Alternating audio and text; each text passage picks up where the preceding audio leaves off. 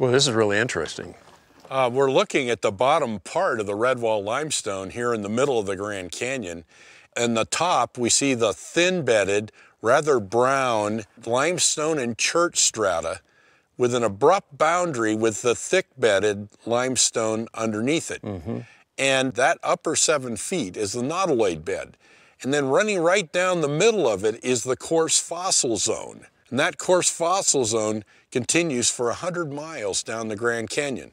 It also goes to the west, out in the Lake Mead area. I've even seen this bed uh, in uh, Frenchman Mountain next to Las Vegas, Nevada, eye level with the Stratosphere Hotel. There's this uh, seven foot layer. So it's extremely uh, Very persistent and uh, extensive. And we're just looking at the general characteristics of it here. So in the middle there is the nautiloid layers with all that coarse fossil material. So that corresponds to what we just saw when we saw the fossils. So we were looking down on that surface. Okay. Now we're looking at it in cross section.